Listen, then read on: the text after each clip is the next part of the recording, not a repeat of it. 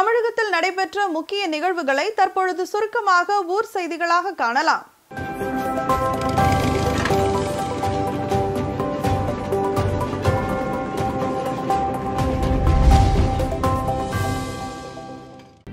மாவட்டம் பஞ்சப்பட்டி ஊராட்சி மன்ற அலுவலக புதிய கட்டிடம் ரூபாய் இருபத்தி மூன்று லட்சத்து ஐம்பத்தி ஏழாயிரத்தில் கட்டி முடிக்கப்பட்டது. இதன் திறப்பு விழா இன்று நடைபெற்றது. விழாவிற்கு பஞ்சப்பட்டி ஊராட்சி மன்ற தலைவர் சிவசக்தி சத்தியமூர்த்தி தலைமை வகித்தார். தொடர்ந்து விழாவில் குளித்தலை எம்எல்ஏ மாணிக்கம் கலந்து கொண்டு புதிய ஊராட்சி மன்ற அலுவலக கட்டிடத்தை ரிப்பன் வெட்டி துவக்கி வைத்தார். மேலும் விழாவில் கிருஷ்ணராயபுரம் கிழக்கு ஒன்றிய திமுக செயலாளர் கரிகாலன் திமுக மாணவரணி செயலாளர் கோபிநாத் மற்றும் ஊராட்சி மன்ற உறுப்பினர் உறுப்பினர்கள் கலந்து கொண்டனர்.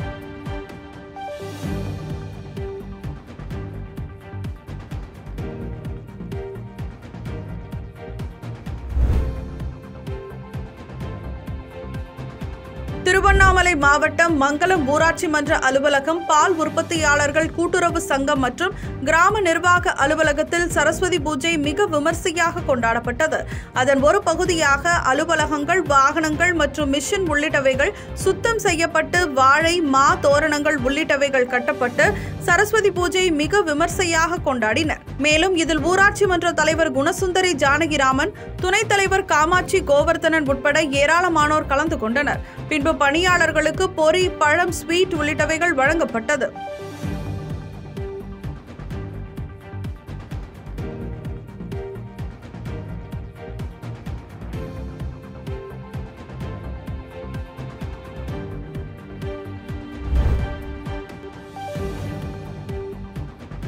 மதுரை திருப்பரங்குன்றம் மண்டல அலுவலக எண் ஐந்தின் முன்புற சாலையில் கடந்த மூன்று மாதங்களுக்கும் மேலாக சாக்கடை நீர் ஆறு போல் ஓடி வருகிறது.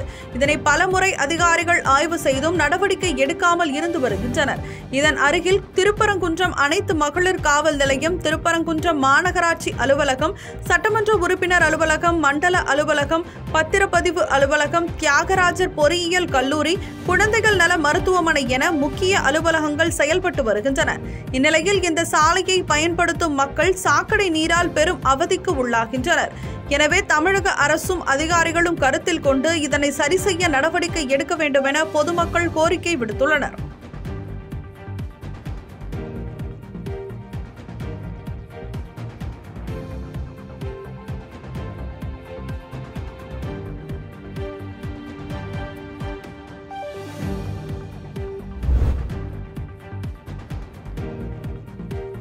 திருப்பத்தூர் அடுத்த கொரட்டியில் அரசு மேல்நிலைப் பள்ளி இயங்கி வருகிறது. இந்த பள்ளிக்கு கழிவறை வசதி இல்லாமல் இருந்ததை அறிந்த வங்கி மென்பொருள் நிறுவனமான டாமினோஸ் என்ற அமைப்பானது இருபத்தி மூன்று லட்சம் ரூபாய் மதிப்பீட்டில் அதிநவீன கழிப்பறைகள் கட்டி கொடுத்தனர். தொடர்ந்து இந்த கழிவறைகள் தற்போது பயன்பாட்டிற்கு கொண்டு வரப்பட்டது. இந்த விழாவிற்கு டாமினோஸ் மண்டல தலைவர் கணேசன் ஸ்ரீராமன் தலைமை தாங்கினார். மேலும் இந்த கழிப்பறையானது மாற்றுத்திறனாளி மாணவர்களும் பயன்படுத்தும் வகையில் வடிவமைக்கப்பட்டுள்ளது என்பது குறிப்பிடத்தக்கது.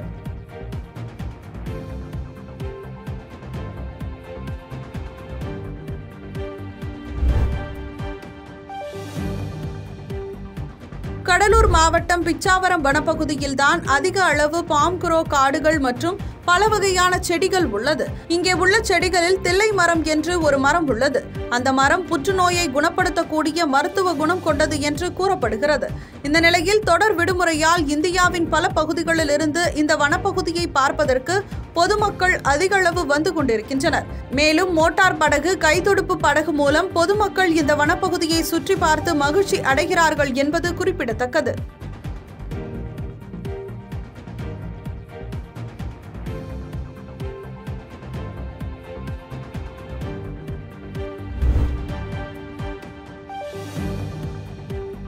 பெரம்பலூரை அடுத்த எளம்பலூர் கிராமத்தை சேர்ந்தவர் ராஜ்குமார்.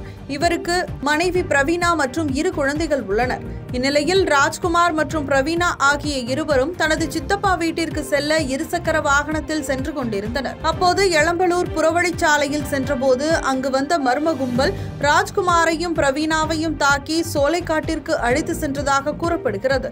அப்போது பிரவீனாவை கணவன் முன்னே சரமாரியாக தாக்கியுள்ளனர். அப்போது மனைவியை காப்பாற்ற முற்பட்ட ராஜ்குமாருக்கு வலது கையில் வெட்டியுள்ளனர். பின்னர் அங்கிருந்து தப்பித்த ராஜ்குமார் ஊர்க்காரர்கள் உதவியுடன் பெரம்பலூர் போலீசாருக்கு தகவல் தெரிவித்துள்ளார். அப்போது அங்கு வந்த போலீசார் இறந்த பிரவீனாவின் உடலை மீட்டு பிரேத பரிசோதனைக்காக அரசு மருத்துவமனைக்கு அனுப்பி வைத்து விசாரணை மேற்கொண்டு வருகின்றனர். மேலும் பிரவீனாவின் மரணம் திட்டமிட்டு செய்யப்பட்டதா அல்லது வழிப்பறிக்காக செய்யப்பட்டதா என்ற கோணத்திலும் விசாரணை நடத்தி வருகின்றனர்.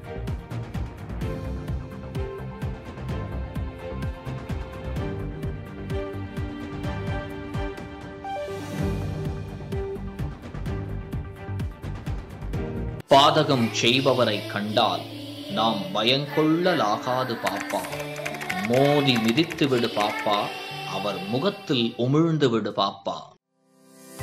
அண்மை செய்திகளை உடனுக்குடன் தெரிந்து கொள்ள இணைந்திருங்கள் இயம்நாடு தொலைக்காட்சியுடன்.